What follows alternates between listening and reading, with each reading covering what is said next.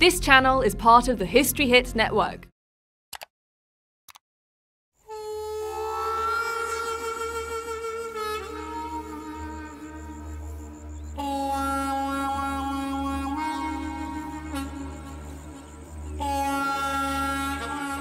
Imagine this. You're mustering sheep and you see, sticking out of the ground, a bone. A thigh bone. A femur. This is a thigh bone of a sheep, and it's not what you found. This is a thigh bone of a cow. Imagine a femur bigger than me. It'd belong to an animal at least 20 metres from nose to tail. It'd belong to a sauropod, like this one.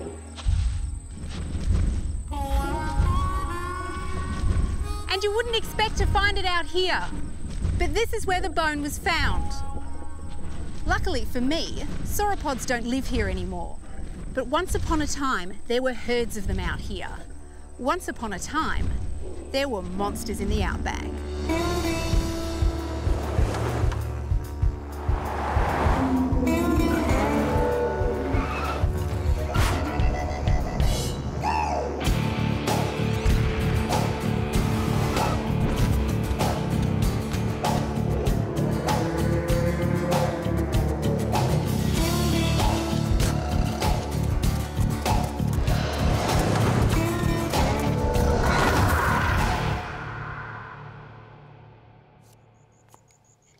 A program about dinosaurs, about monsters in the outback, what they were, how they lived, and how it is that 65 million years after they vanished, we can piece together their story. Dinosaurs have been found almost everywhere. Actually, almost everywhere but Australia, where until recently, very little evidence and none of the real giants had been found. And then something happened which revolutionised our understanding of Australia's dinosaurs. It happened in Queensland, near a place called Winton. Winton has the look of a place that's never changed. You can't help thinking that it must have looked like this forever.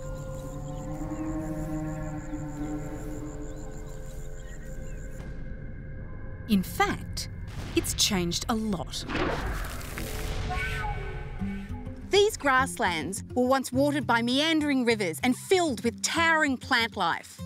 And the rulers of this landscape were giants. It was a time when monsters like the plant-eating sauropods ruled the earth. They were in charge.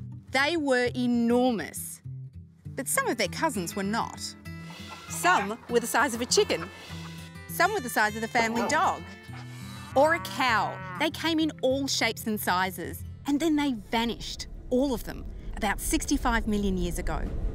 Most scientists believe a giant meteor slammed into the Gulf of Mexico, sending up clouds of dirt and dust blocking the sun, causing temperatures to fall and creating an awful cold that wiped out much of life on Earth. The story of human beings started long after that event, long after the age of the giants. The death of the last dinosaurs and the emergence of our ancestors are events separated by tens of millions of years. The first evidence of these creatures confused people. Dragons, they said, giants. But gradually the truth dawned that the evidence was pointing to a whole new class of extinct creatures. Scientists gave them a name, which means terrible lizard. And since those first discoveries, barely 200 years ago, their evidence has been found just about everywhere. And outback Queensland seems to have been a particularly popular home or hunting ground to a number of different species of the terrible lizard, the Greek word for which is dinosauros.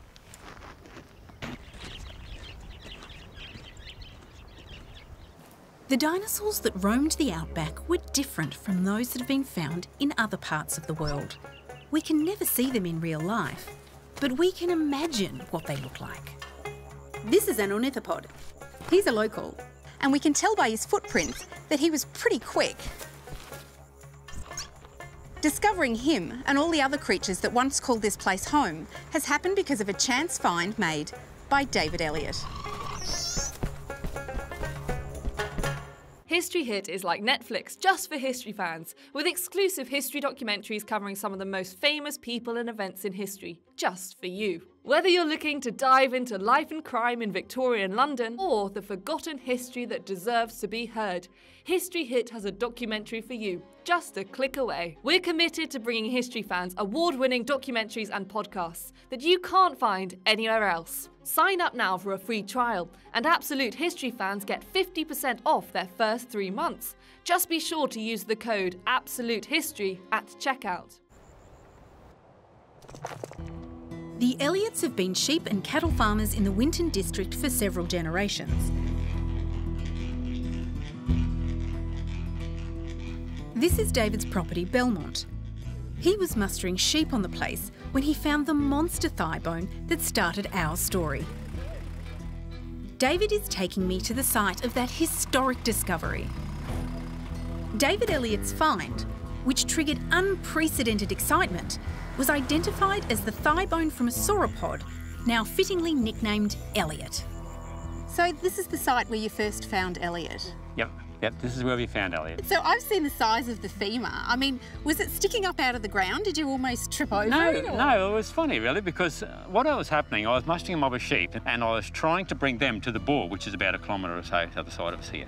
And of course, when you've got sheep that don't want to go where, where you're trying to make them go, and I was just going backwards and forwards here, probably pretty cranky, and I had to swerve the bike to miss a bunch of rocks.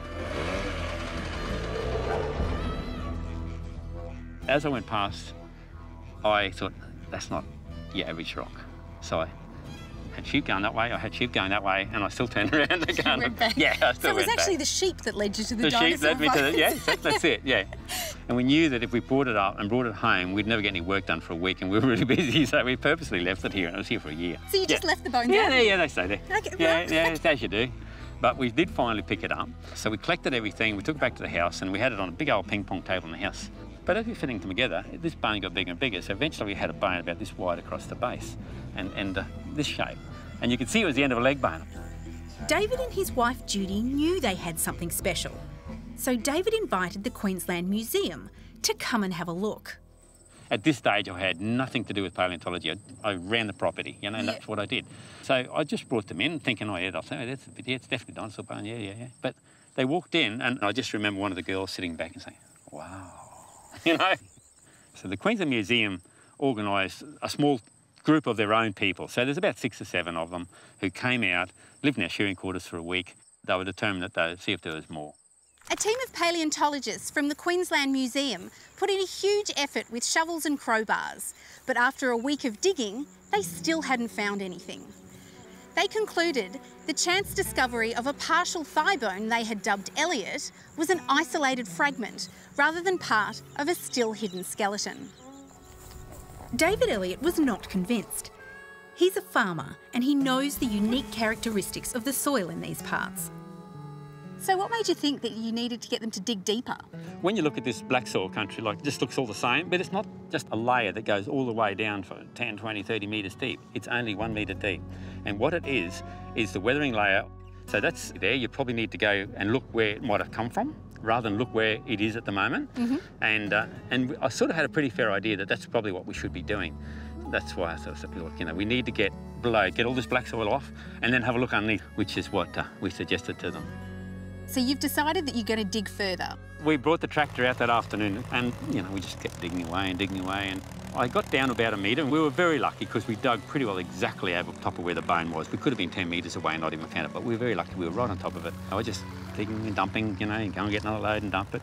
And Judy was just there with a shovel going through the mounds to see, you know, if there was anything. Sifting. Next minute she starts waving her hands, you know, and I said, what's, what's gone? She said, it's got something, something. So I said, oh, go on, you know. So I jumped off the tractor and I went across and had a look. It was the end of the femur. It was the opposite end of the femur that I had found. The base had already come to the top, probably thousands of years ago, all broken down into little pieces. The head was still in one big piece, down about a metre, and then underneath that was the shaft.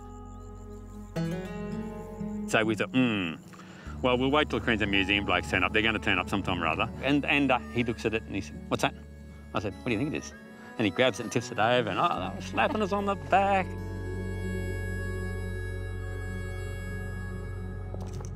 Dr Scott Hocknull is a vertebrate paleontologist and senior curator at the Queensland Museum's Geosciences Department. He was one of the first academics to respond to David's discovery and has been involved with Winton's dinosaurs ever since. So this is where it all began. This is Elliot. Yeah, this is the Elliot femur. Well, when we went into his dining room and David shows us this big chunk of bone, even that fragment at the time was just a blow away. Our mouths were wide open, just, just looking at this thing going, wow, that's a huge dinosaur, even just from a fragment. But you wouldn't have found it without the bulldozer. That's right. It's kind of ironic. This amazing natural history revolution where we're finding more dinosaurs than we ever have in the past revolves around one thing, using a big loader. So paleontologists before Elliot, they weren't using big equipment? Well, most of the discoveries would have been found just like the first bit of Elliot on the surface, and paleontologists going out there would have simply picked the stuff up off the surface, collected it, brought it back to the museum, and that was it. Their, their concept of fossils out there was basically that the layer which had the bone in it had disappeared, and, uh, and what was left is all you had.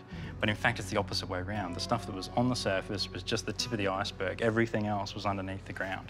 Have we found anything like it before? Not something this big. So we made the big announcement that this was Australia's largest dinosaur. But the fact is that that just led on to all these new discoveries with huge dinosaurs. And the exciting thing from that point of view is that what we have here is just the tip of the iceberg, just the start of one of the most amazing periods in Australian natural history. David Elliott's discovery triggered Australia's dinosaur revolution. It was now time to discover what other secrets were buried in the Winton region.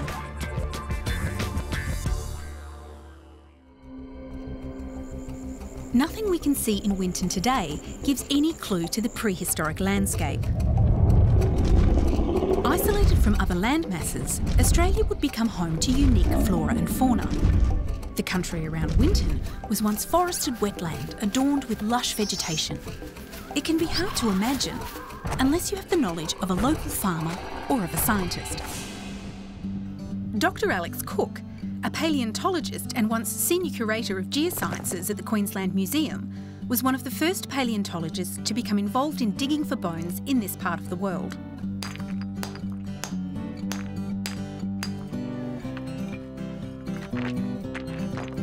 Now, I hear that you're one of the first paleontologists that actually went out to the discovery site. How was that?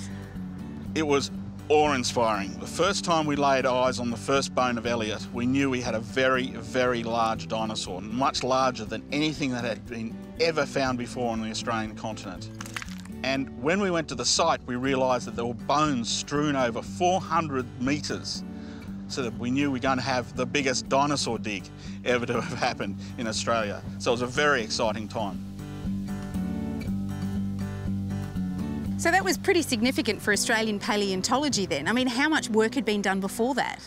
Been a little bits and pieces done on, on the fossil dinosaurs of Queensland, not a huge amount, but the finds that had been made had been made by chance. This one, also made by chance, was the first time we'd systematically dug a huge excavation for a dinosaur. I've been seeing some pretty spectacular landscape around here, but what am I actually looking at? The landscapes in this area are made up of rocks of the Winton Formation. And the Winton Formation is a group of rocks which makes up the youngest part of the Great Artesian Basin. They were deposited here between 98 and 95 million years ago on environments such as river plains, in lakes, in creeks and streams. These were environments where dinosaurs thrived and we get those animals preserved in the rocks of the Winton Formation. What is it about the geology which gives it that exceptional preservation characteristics? A couple of things happened after the deposition of the Winton Formation. It was buried fairly quickly, so we have lots of sediment pouring into the Great Artesian Basin and that helped preserve the fossils and the dinosaur bones in particular. And so what have all these finds meant for Australian paleontology? In the last 10 years, there have been so many new discoveries of dinosaurs around the Winton district that this has added a great deal to the international interest in what's here in Australia and the fact that we do actually have dinosaurs despite looking for 100 years and that there are different types and there's a unique fauna of dinosaurs. And do we still have more work to go? At the moment, there's about 60 dinosaur sites on the books that haven't been uh, dug up.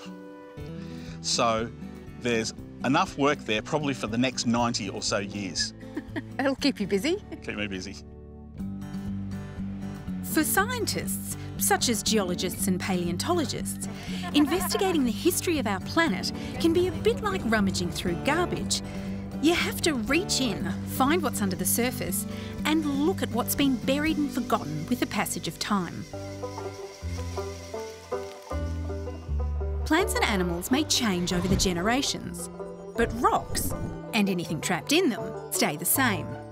Rocks might erode, crack, or get buried, but they don't evolve, which is why rummaging can tell us about a fabulously remote past.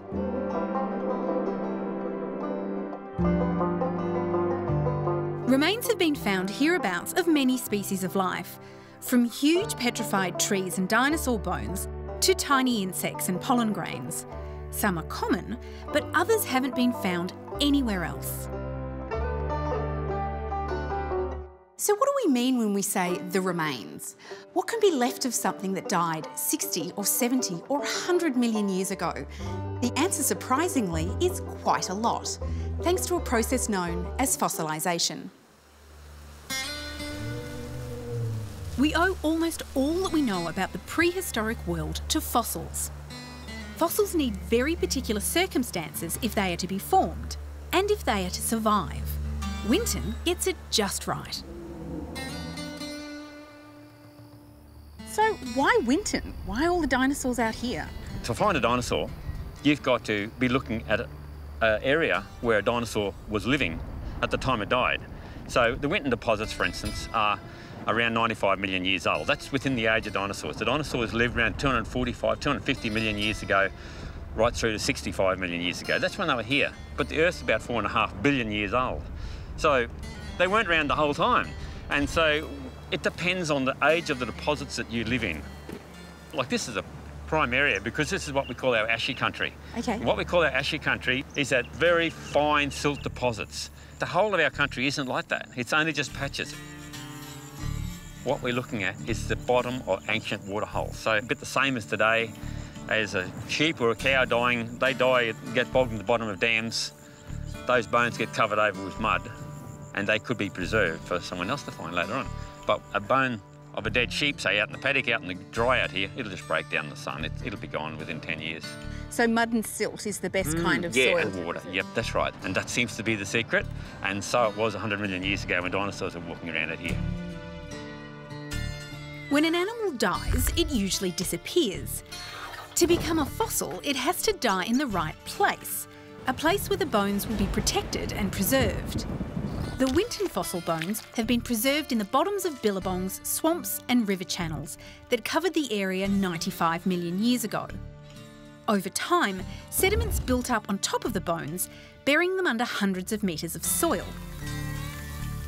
But if we're going to stumble across fossils, natural forces need to bring them back toward the surface.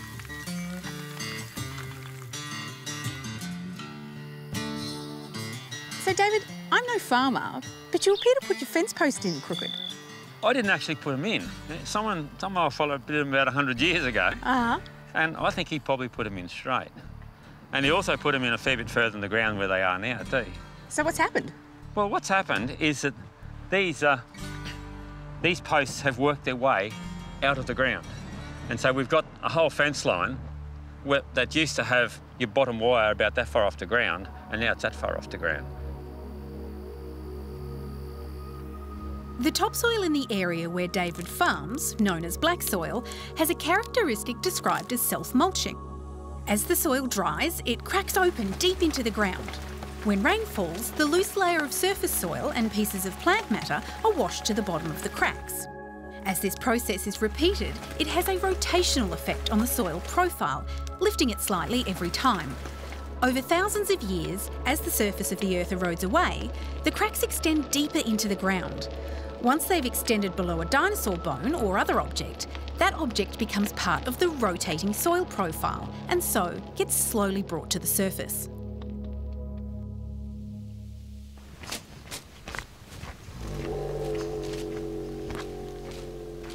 But fossils can't tell the experts everything. Often a fossil can tell us what, but not why. So we need to make an educated guess. Muttaburrasaurus here could walk on her hind legs or on all fours, herbivorous and 7 metres long. But here's the special thing with this creature. Mutt had a big, bulbous, hollow chambered snout. But what for? The best guess is it amplified the animal's roar. But we don't actually know that it roared. Perhaps it had the world's loudest squeak. But we do know a lot, considering how much the world has changed. If dinosaurs came back to the Earth today, they wouldn't recognise this place. Not just because of the cities we've built, or the forests we've felled, or all the other ways with which we've shaped our landscape, but because the land masses of the world today really are in a different shape.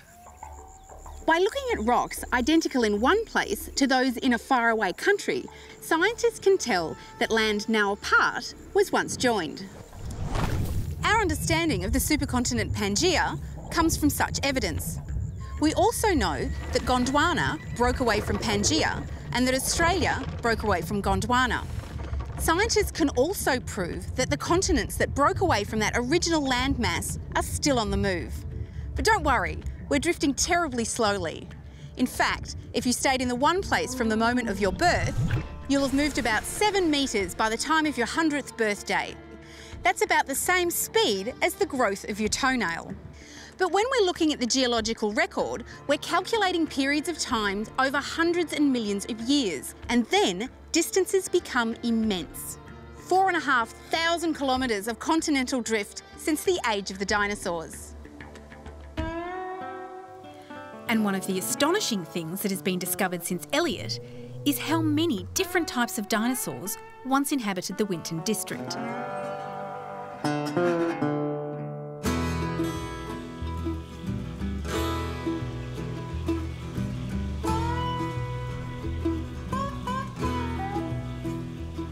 The sauropod was one of the most significant discoveries of dinosaur life in this part of the world.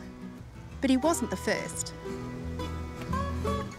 As far back as 1865, fossils from marine reptiles, such as ichthyosaurs, had been found near Hughenden.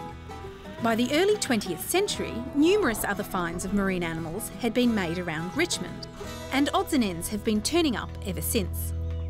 This place, Lark Quarry, houses something quite different and quite unique. Not a skeleton, not even a bone. Body parts are the types of fossils that grab the headlines, but these aren't the most plentiful type of evidence. Trace fossils provide evidence of life in a different way, and here it's in the form of footprints. More than 3,000 of them. The panicked footprints of a dinosaur stampede. Here is evidence that dinosaurs gathered in herds, massive herds. Here are the traces of around 150 two-legged dinosaurs running for their lives. Some of the stampeding mob were emu-sized ornithopods, and some chicken-sized theropods like the Coelurosaur. If you multiply the length of a footprint by around five, you get the approximate height at the hip. And that's how we know that the Coelurosaur was built like a chook. He was running from a bigger theropod, whose hip was at least one and a half metres off the ground. Now, one theory is that he was running from Australovenator wintonensis, whose name means southern hunter from Winton.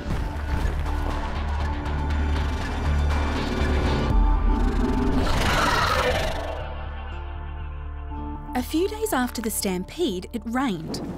Before the mud had dried enough to crack, the lake rose and covered the footprints with sandy sediment. Floods lay down further sediment, and as millions of years passed, the sediment layers were compressed to form rock.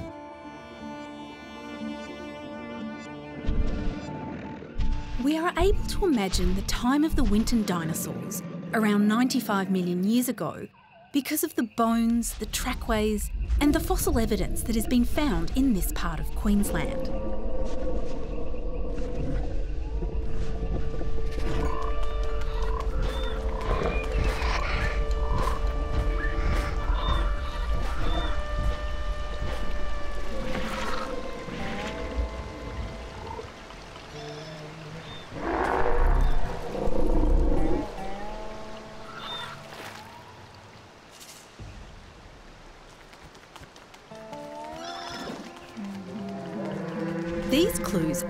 Picture of a world so far from our own.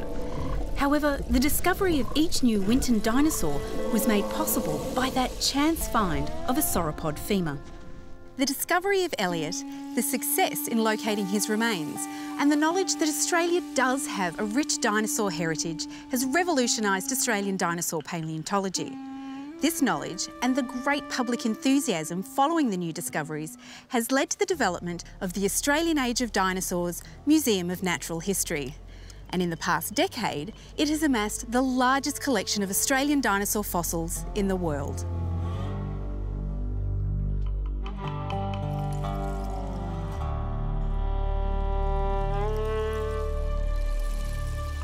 When we first started, we were just going to build a little tiny museum in town, but we soon became aware that what we had out here was the vast majority of Australia's dinosaurs. But the other reason is that we knew that unless we actually got in and did something about it, it was never going to happen. And these things were never going to come out of the ground in our lifetime or even our kids' lifetime. But more than that, you've got your kids, you know, you want your education side of it, there's this research side of it. All of those things, not just great for Australia, not just great for paleontology, but keeping these little regional centres alive. So it was just the greatest thing that we could do for our community, we thought, was to start the Australian Age of Dinosaurs Museum. The community responded, embracing the museum and the prehistoric creatures it had given to the world. The Winton dinosaurs have now become an integral part of the town's identity. The Winton community have been incredibly supportive, haven't they? That's right. It's, it's really exciting up there because you can see locals that are either local kids or, or landholders coming in and being involved physically with the excavation, the discovery, the preparation, the collection, maintenance of all these fossils. So it's not something that's just the responsibility of us vertebrate paleontologists now. It's a completely open science policy where anyone who has an interest in it can be trained up and brought in off the street. And then you're contributing physically to Australia's natural history. And that's something unique. And it sounds to me it's almost like that the science wouldn't be progressing forward as quickly unless you had that volunteer base that we're getting from the local communities. Absolutely. I mean, I'm one vertebrate paleontologist and we're finding hundreds and hundreds of dinosaur bones. Uh, the fossils take months and months of preparation. If it was simply only a few paleontologists prepping these fossils, it would be literally decades before even one skeleton would have been prepared. One of the locals bitten by the dinosaur bug is Trish Sloan. Trish has an integral role managing the museum's preparation laboratory. I'm going to guess there's a little more to paleontology than just digging up bones. Just a little bit. Once we dig the bones up in the flat country out there in the paddocks, uh, we then bring it into here and work on it. And how fragile are they? Like, how careful do we have to be when we're working with them? Uh, you, look, you've got to be really careful. You've got to treat them with respect and care. So um, each dinosaur is different. So it depends what kind of preservation, how they came out of the ground. Wade, for instance, is one of the animals that we're working on right now, and he is uh, encased in really hard rock. So we can go a little bit more heavy-handed on it with some heavier tools, but if you prep too fast, you're going to put the bone in danger, so you've got to do it carefully and slowly. So I've noticed some casts around the around the bones. Do you yeah. do that out in the field? Yeah, that plastering is done in the field, and that's a preservation method. We find the boundaries of the bone and then create a pedestal. And then once we create that pedestal, we then do three layers of material. So we put alfoil around first, then we put wet newspaper on it, and that works in two ways. It keeps the soil moist around the bone, and it also slows down the drying of the plaster so it doesn't break the bone inside. And then we apply hessian and plaster casting. It keeps it stored safely for however long it sits in our storage area. You must have a lot of bones here at the moment. How do you keep track of everything? Well, there's a lot of paperwork um, each bone that you see in our lab has got a conservation record, and that conservation record will have everything listed on it, from the number we give it in the field, it might get a, a fossil number, which is for the whole dinosaur.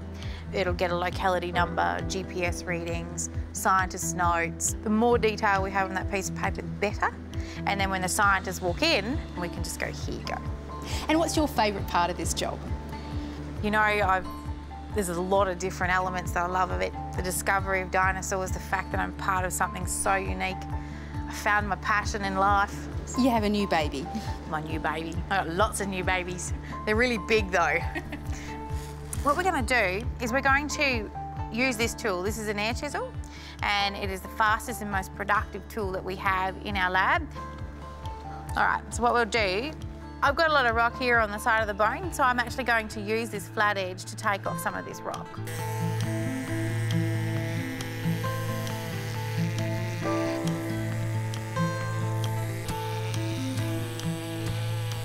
So that could be a bit of bone coming out on the side. So we'll go to this little one. This is a air scribe. This is the, the more commonly used tool in our lab. And we use this to, to do a little bit of detail investigating whether this is associated with the bone or maybe it's just a floater.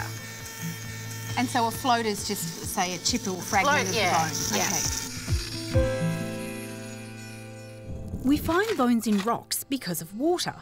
Water seeping through the bones sets off chemical reactions causing the bones to become as hard as stone. The sediment in which the bones are buried is also turned to rock by the chemical reaction. With time, more and more layers of rock encase the bone, sealing and protecting it. Imagine Diamantinosaurus here.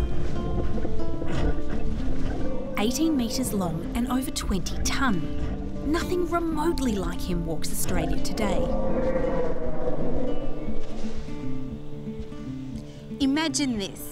A creature dies under just the right circumstances, and a hundred million years later, you are the one who scrapes back the soil and sees it for the first time. How would you feel? Well, it's this excitement that brings people from all over the world whenever the digs are on.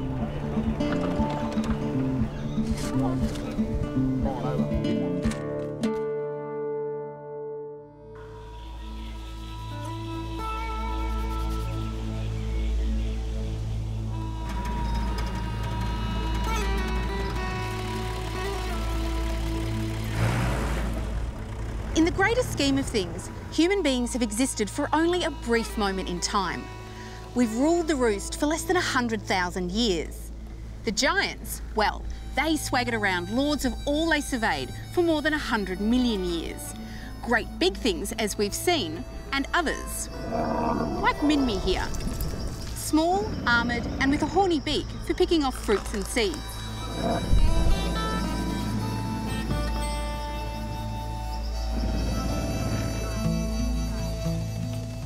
Uncovering the dinosaur story is what the digs are all about. The digs out here in Winton are organised Winton style by Judy Elliott.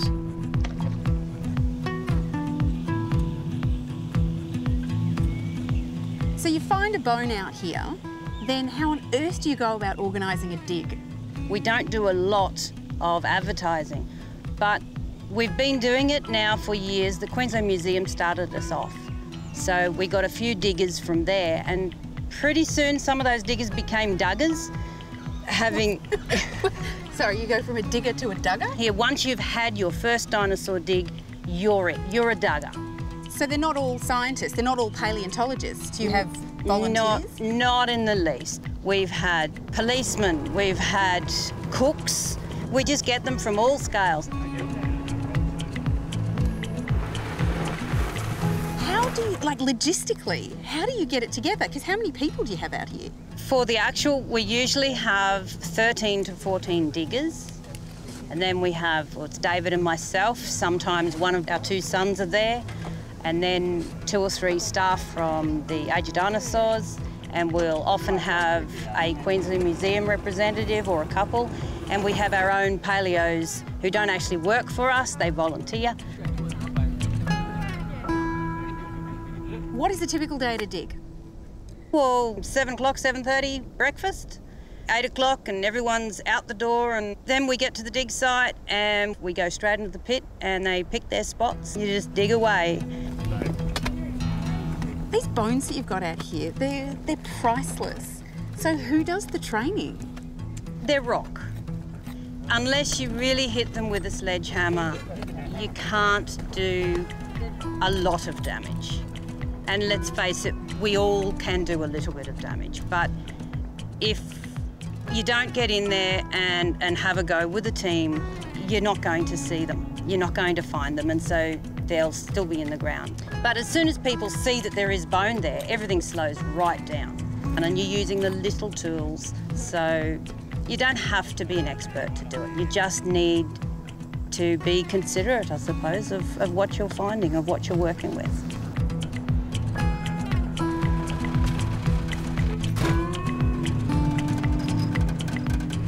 David Elliott's discovery and all the work that he and his supporters have done since have put Winton on the dinosaur map.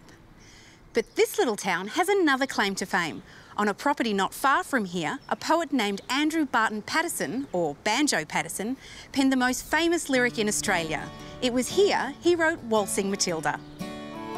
One of Australia's most widely known bush ballads, Waltzing Matilda tells the story of a swagman camped by a waterhole.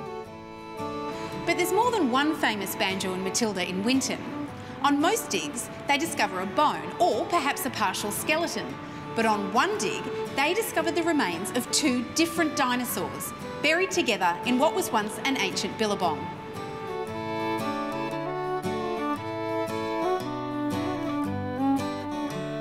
These are the remains of the two creatures the Australian Age of Dinosaurs Museum has fondly named Banjo and Matilda. Can you tell me more about them? Did you find them? No, I didn't actually find Banjo Matilda. They were found by a lady who lives the other side of Winton, probably 150 kilometres away from us. And uh, she rang Judy and I up and said, there's this great big bone at the ground, come and have a look. There was a huge sauropod dinosaur, but not only that, there was a stranger in the pit with her, and it was within our first dig, we found a couple little bones, you know, and we realised that there was something pretty exciting there because it was definitely not Matilda. And when we kept going, of course, there's a beautiful theropod dinosaur in there. So it's a carnivorous dinosaur right beside Matilda, so two dinosaurs for the price of one. Banjo is the first carnivorous dinosaur known by more than one bone or one scrap of bone in Australia. That's all that's ever been found before. Suddenly we had teeth, we had claws, we had jaws, we had So this is the most- bones, the whole hands. The most complete specimen of a carnivore that's been found to date. In Australia, uh-huh. definitely. And Matilda was exactly the same. She was the most complete specimen of a sauropod that we'd found to date. So what were they doing so close together? Well, you can have all sorts of interpretations, can't you? You just got to look at the science and think, well, what is what's possible, what's not, and really, there's only several things that can be possible.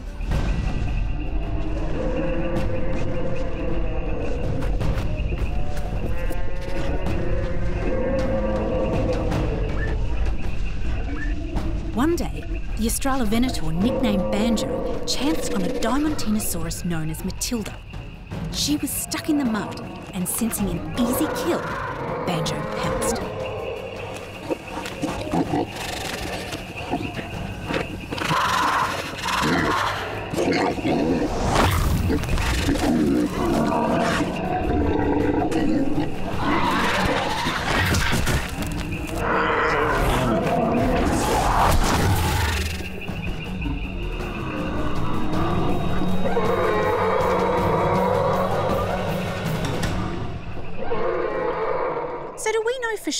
That Matilda killed Banjo? Well, of course we don't. But then that's the intrigue of paleontology. Investigating the deaths of Matilda and Banjo around 98 million years ago is similar to a homicide detective today poring over the evidence and tracking down a murderer. So how do we weigh out this evidence? We've got more sauropods than anything. Pretty well most of the dinosaurs that we find are sauropods. I often used to wonder, why aren't we getting all sorts of dinosaurs in our deposits? And then it really started to occur to me as what exactly those deposits are. And those deposits are ancient silt deposits. They're the bottom of muddy water holes, basically, just like this one. We're seeing large animals that are coming down to here, they get a drink, and they're not coming back out again. And you'd have to wonder why that is. And then to do that, you've really got to look at the sauropods. And you're looking at the largest animals that ever walked the earth. They're 30-ton animals. They've got no real enemies. A mob of sauropods are virtually indestructible. Nothing could have touched them. But by the same token, they got old. Nothing lives forever. And animals, as they get old, they get frail. And I find that with my sheep and my cattle. When they do, and they start walking into a water hole similar to this, often they don't come out again. And what happens is they go in for a drink and they can't pull their legs out of the mud. And sometimes, if you don't get back to a dam for, say, three or four days, and a sheep has died on the edge of the water, wild pigs will come along, clean them up, and you'll find a few leg bones. And then you imagine a huge, big, you know, 20 or 30 metre long sauropod dead here and scavengers coming down and pulling away at it. They'd pull the neck away, they'd pull the tail, you just get a few scraps and a few limb bones that are, that are all down in the mud. So that's why we only find the leg bones of the dinosaurs. Well, sometimes. it's, it's probably the reason we find more leg bones than anything else.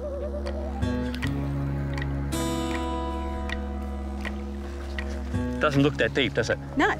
Just watch this. Oh, my word. So That's how much mud is there that's just settled out of this water. uh-huh. So a 30 ton So sauropod you come imagine and a 30 stand in ton that. sauropod, and he hasn't got to sit up on top like we are. He's just going to go straight in.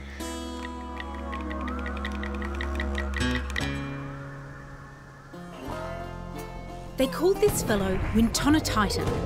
Titanic, 16 metres, 15 tonnes. The name means Winton Giant, in honour of the place it lived and roamed.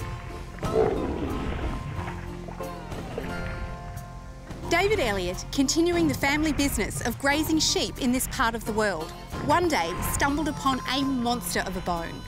It changed his understanding of the country around him, and it changed our understanding too. It helped us picture an ancient landscape that was once here and see the terrible footprints of the monsters that once lived in the outback.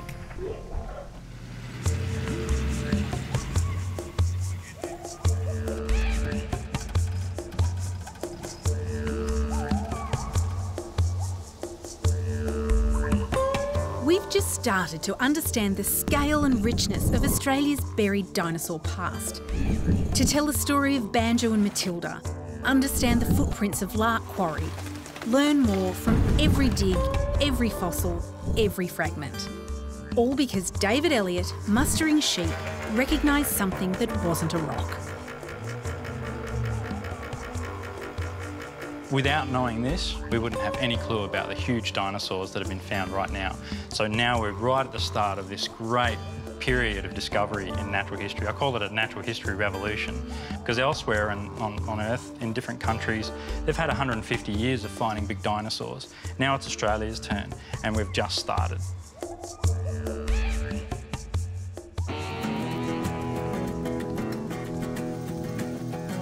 Understanding the time of the dinosaurs tells us about our remote past, but it also explains how our world has changed, how our climate has changed, and how the slow, unending course of nature continues to change our planet. It's difficult to think of anything more important than understanding how our world works, because if we are truly to understand where it's going, first we need to understand where it's been.